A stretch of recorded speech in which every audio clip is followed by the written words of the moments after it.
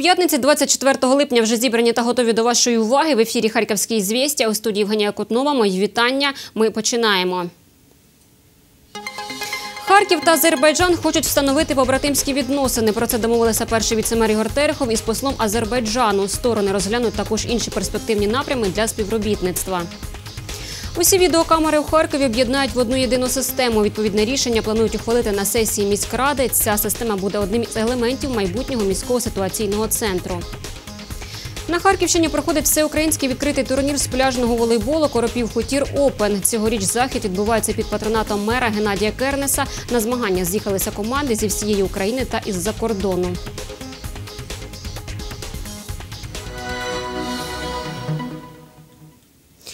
Харкова може з'явитися місто побратим із Азербайджаном. Також сторони розвиватимуть економічне співробітництво. Про це сьогодні домовились у мерії. Була там і наша Леся Копилюк. Харків та Азербайджан націлені вивести партнерські відносини на новий рівень. І відразу в кількох напрямках своє бачення спільних проєктів в деталях обговорили новопризначений надзвичайний і повноважний посол з першим віцемером Ігорем Тереховим на спільній двосторонній зустрічі. З найактуальніших напрямків сфер спільної роботи – IT, культура та економіка. Так, в перспективі проведення бізнес-форуму. Мы договорились о том, что в ближайшее время, как только нам позволит эпидемиологическая ситуация, когда закончится карантин, э, мы сформируем бизнес-делегацию, которая поедет в Баку для того, чтобы провести э, переговоры с азербайджанской стороной и выработать те пути и те векторы движения экономического э, взаимосвязи, которые мы будем развивать между Харьковом и Азербайджаном. Наразі Азербайджан зацікавлений в Харкові як промисловому місті, підкреслила дипломат. Тому найближчим часом свої партнерські відносини з першою столицею планують закріпити підписанням угоди про побратимські відносини. Я бы очень хотела, чтобы ваши бизнесмены, деловые люди, директора промышленных предприятий посетили наш чудесный город, встретились с нашими деловыми людьми. И будем помечтаем о том, чтобы между нашими городами, вот выразили такое пожелание, между Харьковом и Баку, был бы подписан какой-то меморандум о побратимстве, о сотрудничестве культурно-экономическом.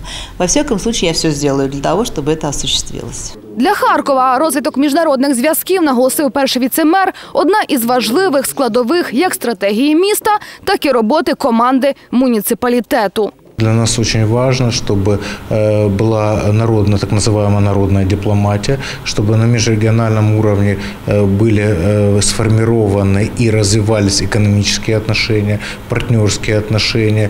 И, конечно, это даст возможность и возобновлению в правильных векторах политических отношений между Харьковом и Азербайджаном. Для нас это очень важно. Почему? Потому что Азербайджан очень динамично развивается, имеет колоссальный экономический потенциал, и поэтому для нас важно действительно дружить с этой страной, э, развивать межрегиональные отношения, и действительно мы хотим, чтобы город Баку стал городом-партнером города Харькова.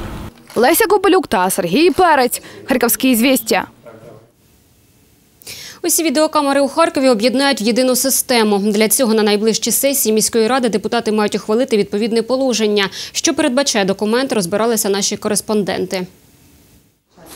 Безпечне місто пріоритет. Наразі у Харкові працюють 3,5 тисячі відеокамер. Їхню роботу та взагалі всієї цієї системи, розповідають у департаменті цифрової трансформації, забезпечують різні комунальні підприємства. Саме тому у міській раді хочуть звести все воєдино. Для цього на найближчій сесії мають ухвалити відповідне положення. Це положення е, повинно врегулювати е, функції комунальних підприємств міста, які займаються відеоспостереженням, визначити основного суб'єкта, відповідний департамент цифрової трансформації, який повинен розвивати та забезпечити функціонування цієї системи.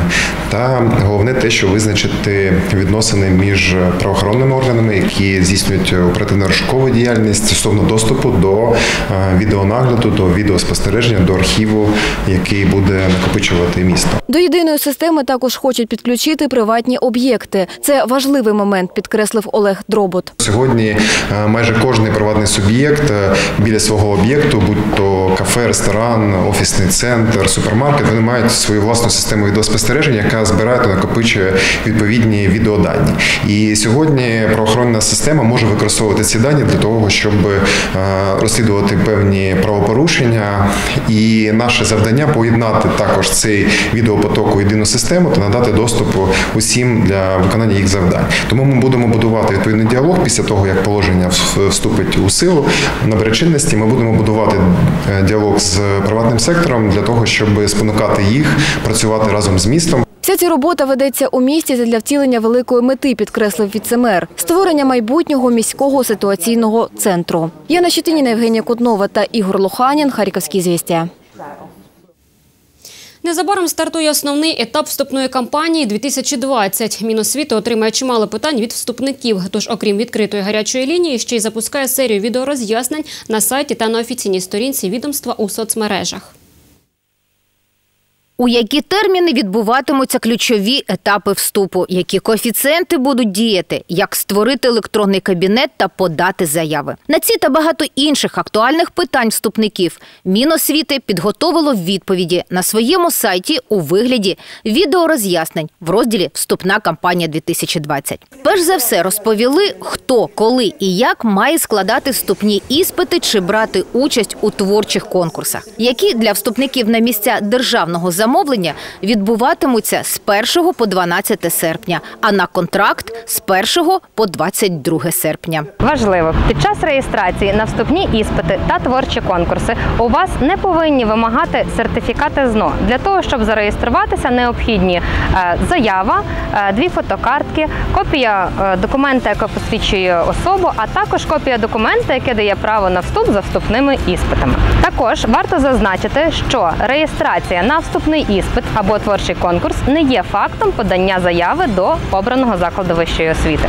Також для вступників на бюджет творчі конкурси та вступні іспити проводитимуться в кілька потоків. Для того, щоб абітурієнти мали більше можливостей для вступу до різних вишів у разі збігу дат проведення цих випробувань. І ось такі детальні відповіді фахівці міністерства готові надавати і надалі. База відеороз'яснень для вступників на бакалавра та магістра буде поповнюватися новими матеріалами до 1 серпня, початку основного етапу вступної кампанії 2020 року.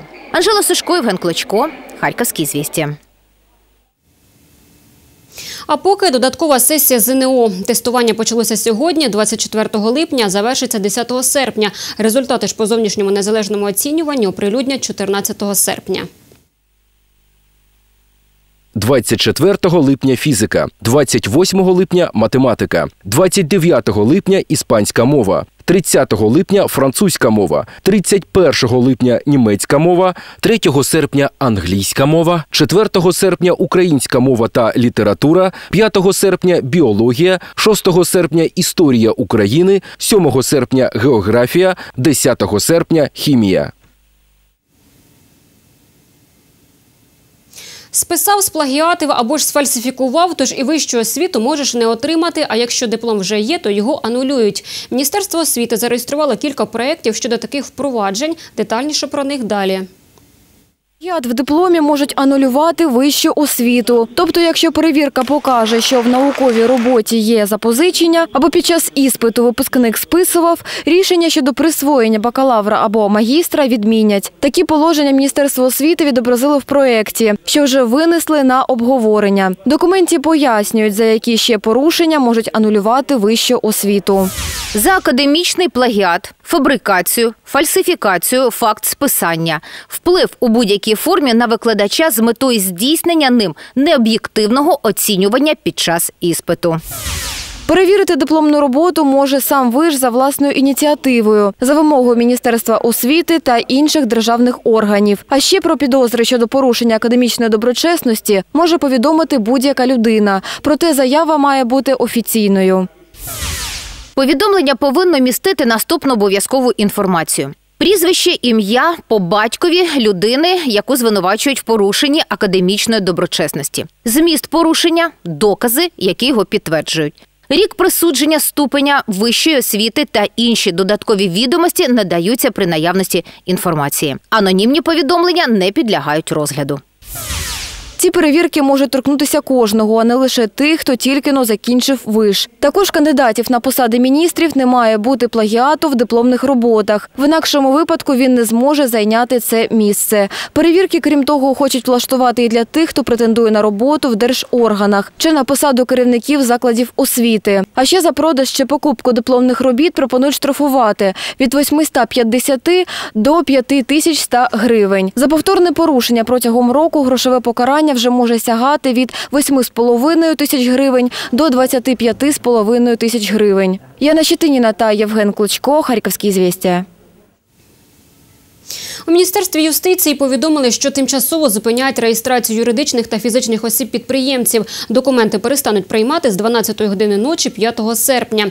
Причина міністерство юстиції запускає новий єдиний державний реєстр юридичних осіб, фізичних осіб підприємців та громадських формувань. У зв'язку з цим з 7 по 16 серпня дані будуть переноситися зі старого реєстру в новий, і у реєстраторів не буде доступу. За словами міністра юстиції Дениса Малюськи, документи на реєстрацію не прийматимуть з 5 серпня, а документи, подані раніше, повинні будуть обробити до 6 вечора 7 серпня. Також міністр допускає, що реєстр відновить роботу раніше запланованого терміну. Протягом періоду перенесення даних антирейдерська колегія продовжить працювати. Вона буде мати доступ до реєстру. Національний банк випустив серію роликів, спрямованих на протидію шахрайству в рамках інформаційної кампанії Шахрай Гудбай. Відео містять підказки, як безпечно користуватися карткою, змінить пін-код, а також розповсюджені випадки обману користувачів. Подробиці далі.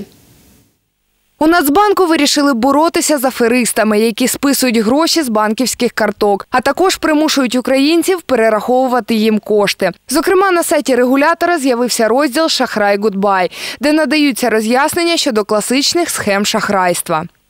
Він зателефонує тобі і представиться банкіром, поліцейським, лікарем, продавцем, покупцем, працівником служби безпеки, пенсійного фонду, комунальних служб. У нього безліч облич та лише одне справжнє шахрай. Якщо він питає трьохзначний номер на звороті картки, коди банків та мобільних операторів, паролі до інтернет-банкінгу, пін-код до картки, завершу розмову. Одним із розповсюджених випадків є повідомлення про те, що ваш родич потрапив у біду. Якщо ви отримали такий дзвінок, у жодному разі не перераховуйте гроші. Спочатку зателефонуйте родичу. Не повідомляйте реквізити картки. Телефонуйте на 102 або повідомте кіберполіцію про шахрая. Також у роликах розповідають, як виглядають безпечні сайти, на яких можна здійснювати покупки, як захистити фінансовий номер телефону, як правильно знімати гроші так, щоб шахраї не побачили пін-код тощо. Крім того, у НБУ склали алгоритм дій у разі, якщо ви все ж таки повідомили аферистам дані картки. Наразі таких роликів вже близько десяти. Юлія Біла та Євген Клочко, Харківські звістія. Нові правила виїзду дітей за кордон діють. За яких обставин можна подорожувати з дитиною без згоди одного з батьків, як впливають аліменти на дозвіл і що треба ще знати українцям далі. Не сплачуєш аліменти, не маєш права приймати важливих рішень щодо своєї дитини. І твого дозволу на виїзд малюка за межі України не спитають. Такі нові правила говорять у мін'юсті. Ще дещо потрібно знати розлученим батькам при плануванні закордонної подорожі з дитиною. Виїзд з дитиною за кордон на строк до одного місяця можливий з тим із батьків, з яким постійно проживає дитина. При перетині кордону необхідно буде надати відповідне рішення суду чи органів опіки. Згідно з правилами, повідомляють у мін'юсті, один з батьків, який вивозить неповнолітнього за кордон, обов'язково повинен повідомити про виїзд іншого рекомендованим листом, якщо той сплачує аліменти. У листі необхідно вказати мету подорожі, маршрут, час відсутності в Україні. Важливо знати, що дозвіл від іншого з батьків не потрібен, якщо той не сплачує аліменти вже більше чотирьох місяців. А якщо дитина тяжко хвора, то більше трьох. Залишити Україну без згоди батька чи матері на виїзд дитини за кордон можна у таких випадках: батько є іноземцем або особою без громадянства, і відсутній у пункті прописка є запис про вибуття на ПМП за межі України в іншу країну, або відмітка про взяття на постійний консульський облік. Є офіційне підтвердження про заборгованість по сплаті аліментів терміном більше чотирьох місяців. Нотаріальна згода батьків на вивезення дітей за кордон є юридичним документом, що запобігає викраденню дітей з України, зазначають у мін'юсті. Дозвіл батька матері на перетин дитиною кордону потрібен тільки громадянам України. Діти, які мають громадянство інших держав, виїжджають з України без цього паперу. Яна Біляєва, Олександр Іванов, Харківські звістя. Офіційний вік молоді зменшиться на 6 років. Верховна Рада України у першому читанні ухвалила законопроект про засади молодіжної політики. Автори документу пропонують знизити вік молоді з 35 до 29 років. Згідно з діючим законодавством, молоддю вважаються особи віком від 14 до 35 років. Новий законопроект спрямований на роботу з такими групами: школярі від 14 до 17 років, молодих людей, які отримали освіту в навчальних закладах 1-4 рівня акредитації від 18 до 24 років, працююча молодь у віці від 25 до 29 років. Також документ передбачає підтримку дитячих громадських організацій. Верхня вікова межа у 35 років встановлюється виключно для молодих сімей для забезпечення їхньої участі у житлових програмах. Соцдопомога по-новому. Мінсоцполітики оптимізує процес призначення і надання державних виплат. Суттєві зміни стосуються питань рівного доступу до соціальної допомоги, об'єктивності призначення та спрощення оформлення необхідних документів. Українці почнуть отримувати соціальну допомогу за новими правилами. У Мінсоцполітики розробили низку нововведень. Урядовці розповідають, що зміни передбачають проведення перерахунків допомоги на дітей, над якими встановлено опіку, а також на дітей з інвалідністю, які знаходяться під опікою чи піклуванням. Також зміни торкнуться порядку призначення і виплати державної допомоги малозабезпеченим родинам. Програмою закладені стимулюючі механізми для виходу таких сімей з бідності. Наприклад, буде надаватись поворотна, одноразова, безвідсоткова допомога на отримання економічної самостійності і організації підприємницької діяльності. Це спонукатиме непрацюючих, але працездатних членів родин до роботи. Допомога буде надаватись за рахування майнового стану родини. Порушення і зловживання, які допускались раніше, тепер будуть легко відстежуватися. У Мінсоцполітики зазначили, що допомога малозабезпеченим родинам, які сьогодні отримують її за об'єктивних причин, буде збільшена. Також процедура призначення допомоги на дітей одиноким матерям буде уніфікованою. Це забезпечить рівний доступ українців до державних виплат. Зокрема, зміни передбачають. Спрощення порядку отримання і тимчасової державної допомоги на дітей, спеціальну програму виплати допомоги на дітей багатодітним родинам, спрощення процедури оформлення документів на виплати, можливість звернення за призначенням соцдопомоги онлайн. Яна Біляєва, Євген Клочко, Харківські звістя. Потрапити до віп-камери СІЗО в один клік. Міністерство юстиції запустило новий сервіс подарункові сертифікати до тюрми підвищеної комфортності. Як скористатися послугою, детально розповість наша Юлія Біла. Незвична послуга з'явилася на сайті Міністерства юстиції. Українцям пропонують придбати подарункові сертифікати за грати. Про це повідомив очільник міністерства Денис Малюська на своїй сторінці у соцмережі. Користувачі у відповідь запропонували міністру перевірити послугу на собі. Цей день настав. Вас запросили на день народження чиновника, судді або політика. Може, навпаки, забули запросити. Все ще роздумуєте над подарунком. Ми знаємо вихід. Від сьогодні Мін'юст пропонує нову послугу. Ми пропонуємо подарункові сертифікати на користування послугами платних камер у українських слідчих ізоляторах. Подаруйте знайомому подарунковий сертифікат, і якщо його візьмуть під варту, він зможе потрапити у камеру з поліпшеними умовами утримання. Придбати сертифікат можна прямо з комп'ютера або смартфону на сайті Мін'юсту. Для цього необхідно обрати слідчий ізолятор, кількість днів ув'язнення та вартість і сплатити послугу за реквізитами відповідної установи. Квитанція про сплату надійде на електронну пошту. Я не певен, чи десь у інших країнах є платні камери у слідчих ізоляторах, а от подарункові сертифікати точно наш ексклюзив. Пам'ятайте, сертифікат діє лише протягом шести місяців після придбання. Якщо протягом вказаного строку обдаровуваний не буде взятий під варту та не потрапить у СІЗО, кошти зарахуються у якості благодійної допомоги відповідному слідчому ізолятору. Найдорожчі камери у київському слідчому ізоляторі. Доба перебування в них коштує 2 тисячі гривень на добу та 12 тисяч на місяць. От найдешевше перебування під час досудового слідства у Чернівцях. Доба у комфортних умовах обійдеться у 346 гривень, а місяць у 2508. Юлія Біла, Олександр Іванов та Євген Клочко. Харківські ізвістія. Тим, хто ще не потрапив під слідство або не має коштів, Мін'юст також готовий допомогти. Урядовці запустили мобільний додаток Безоплатна правова допомога. Які послуги там надають, дивіться в наступному сюжеті. Зможуть отримати безоплатну юридичну консультацію онлайн в будь-якому зручному місці та з усього спектру правових питань. Міністерство юстиції запустило мобільний додаток Безоплатна правова допомога. Ми презентуємо найпростіший спосіб доступу до безоплатної правової допомоги мобільний додаток Безоплатна правова допомога.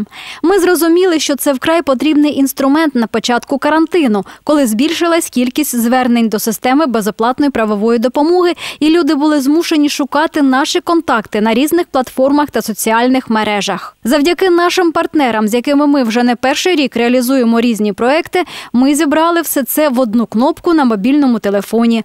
Можна сказати, що тепер правова допомога може бути у кожному в кишені постійно. Додаток доступний для платформ Android та iOS. У міністерстві зазначають, що сервіс покликаний спростити доступ українців до правосуддя. Застосунок надасть можливість, зокрема, автоматично зателефонувати на єдиний номер системи безоплатної правової допомоги 0800 213 103 та отримати консультацію юриста, подати запит на отримання адресної правової допомоги, отримати інформацію про всі гарячі лінії центрів обробки викликів, а також адреси центрів та бюро правової допомоги, отримати контакти інших надавачів правової допомоги за регіонами.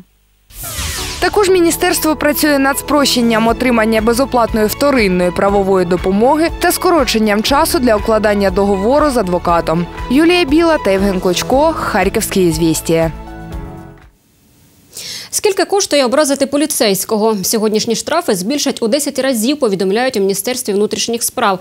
Відомство розробило законопроект про посилення відповідальності за образу співробітників поліції. Зараз за невиконання вимог поліцейського за опір і причинення моральної шкоди передбачено штраф у розмірі від 136 до 255 гривень. Тому у МВС запропонували Верховній Раді збільшити штраф до 1700 – 3400 гривень. У відомстві говорять, що вказане посилення покарання зменшить кількість нападів на правоохоронців. Звісно, що міра покарання має певний вплив на те, щоб стримувати порушників, але для цього потрібно, щоб вона застосовувалася. Необхідно, щоб потенційні правопорушники знали, що зараз буде серйозний штраф, а не 136-255 гривень. На Харківщині в Коробово триває турнір з пляжного волейболу, що зібрав 70 провідних команд України та із-за кордону. Про його рівень, за що боротимуться волейболісти у наступному матеріалі. На Харківщину з'їхалися провідні команди України та з-за кордону з пляжного волейболу на ювілейний турнір Коропів Хутір Опен. Цьогоріч спортивний фестиваль зібрав 70 команд. Сам турнір триватиме протягом кількох днів. в Перший день старту змагань провели жеребкування між жіночими та чоловічими командами. Після чого був дан старт турніру. Очень атмосферно, очень круто, классно и надеемся, что покажем очень хороший результат. Будем очень стараться. Сюда на Карапа все стремятся приехать. Даже вот были все турниры в этом году на Украине, не было такого состава команд сильного, как приезжают на Карапа каждый год. Многие здесь, и мы в том числе, приезжали уже в этом году сюда просто потренироваться. Здесь хорошие есть условия. Всі дні відбуватиметься своєрідний відсів команд. Волейболісти зауважують, цей турнір не лише спортивне свято для кожного з них, а й ідеальна нагода для зустрічі із найсильнішими командами України і за кордону, щоб досконалити свою майстерність. Чем сильнее турнир, тем это лучше для нас. Мы будем расценивать этот э, турнир для подготовки к международным соревнованиям, потому что сейчас из ситуации вы все знаете, турниров мало, играть негде, поэтому если сюда приедут команды посильнее, то есть, думаю, даже если мы каким-то, ну, не выиграем, да, первое место, то для подготовки для будущих, бу- еще более важных, важных соревнований это будет большой шаг. Уже 15-й рік поспіль проводиться цей турнір, і з кожним роком він все вище і вище і по своєму класу проведення, по організаційному рівні, і так само і по рівню учасників. Це, мабуть, найбільш іміджевий турнір, оскільки ми можемо побачити як кількість партнерів і спонсорів залучена до організації цього турніру. Е, Завжди цей турнір відзначається тим, що він, мабуть, найбільш е, великий по сумі призового фонду. І це звичайно сприяє тому, що всі топові гравці українського пляжного волейболу на ньому присутні, члени збірної команди України, і вони завжди з великим азартом до останнього м'яча борються і за медалі, і за частину призового фонду. Стартує призовий фонд від 40 тисяч гривень, кажуть у суддівській колегії турніру. Фінальні ігри змагань з пляжного волейболу в Коропово відбудуться вже цієї неділі, 26 липня. В этом году мы проводим соревнования под патронатом Геннадия Адольфовича Кернеса. Спасибо огромное, что он помогает развивать спорт в Харькове и в Харьковской области также. Спасибо ему огромное. Каждый год э, кома- количество команд увеличивается. Приезжают люди сюда, самые, самые серьезные, самые лучшие, самые сильные спортсмены всей Украины и не только с Украины. Все люди, все, все ребята, которые играют даже за границей, они все приезжают сюда, чтобы принять участие в таких соревнованиях такого масштаба и такого уровня. Бабич, Попов, Самода – это люди, которые мастера спорта международного класса, которые на уровне играют э, за нашу страну, защищают на международной арене э, пляжний волейбол. Леся Гобелюк та Олег Синицький. Харківські звістя. Ось такими на події була п'ятниця. На цьому в мене вся інформація. Всім дякую за увагу і за те, що ви з нами. Гарних вихідних. Зустрінемось наступного тижня.